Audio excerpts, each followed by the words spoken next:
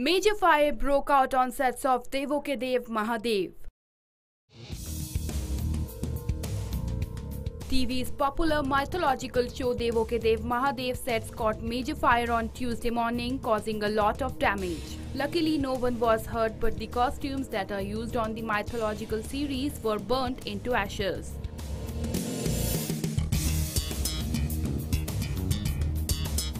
The shoot has been put on hold for some time.